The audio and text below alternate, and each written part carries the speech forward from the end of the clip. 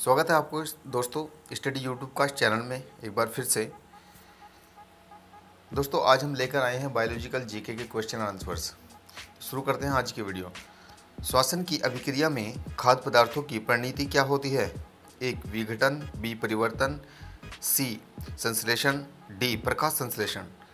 दोस्तों, इस, दोस्तों, इसका उत्तर है विघटन। क्वेश्चन नंबर दो खाद्य पदार्थों के पौधे में स्थानांतरण का मुख्य रूप कौन सा है? A, sucrose, B, glucose, C, starch, D, protein.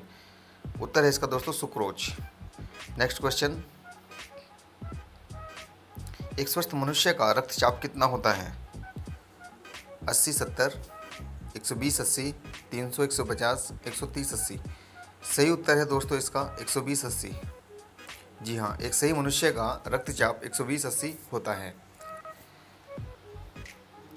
दोस्तों, दो तरह के बीपी होते हैं डायस्टोलिक साइस्टोलिक जो डायस्टोलिक बीपी होता है, वो 120 होना चाहिए और जो डायस्टोलिक बीपी होता है 80 होना चाहिए। नेक्स्ट क्वेश्चन दिनाम पद्धति प्रतिलिपिक कौन है? दिनाम पद्धति के प्रतिलिपिक कौन है? हेप्टोक्रेटस ड्राविन लीनियस और थियो थियोफैक्टर्स उत्तर है दोस्तों, लीनियस। नेक्स्ट क्वेश्चन नंबर पाँच। मनुष्य में बुद्धि एवं चतुराई का केंद्र क्या होता है? बहुत ही इंपॉर्टेंट क्वेश्चन है दोस्तों।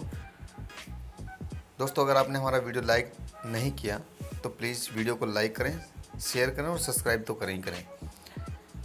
ऑप्शन है आपके दोस्तों cerebrum spinal cord hypothalamus cerebrum इसका सही उत्तर है दोस्तों सेरिब्रम ऊर्जा उत्पादन के लिए कोशिकाएँ प्राय किसका उपयोग करती हैं?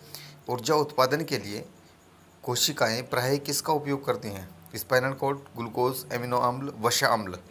उत्तर है दोस्तों, ग्लूकोज। सर्वप्रथम क्वेश्चन नंबर सात, सर्वप्रथम विषाणु की खोज किसने की थी? सबसे पहले विषाणु की खोज किसने की थी? एडवर्ड जेनर, स्मिथ, इकोनोक्सी, लीनियस। उत्तर है दोस्तों इवानोवक्सी इवानोवस्की क्वेश्चन नंबर आठ. वह प्रक्रिया जिसके द्वारा मनुष्य सांस ग्रहण करता है और छोड़ता है, वह कौन सी प्रक्रिया है? एक क्वेश्चन एक बार फिर से दोस्तों. वह प्रक्रिया जिसके द्वारा मनुष्य सांस ग्रहण करता है, यानी कि लेता है, और वह प्रक्रिया जिसके द्वारा छोड़ता है, कौन सी प्रक्रिया है? उस प्रक्रिया को क्या बोलते हैं?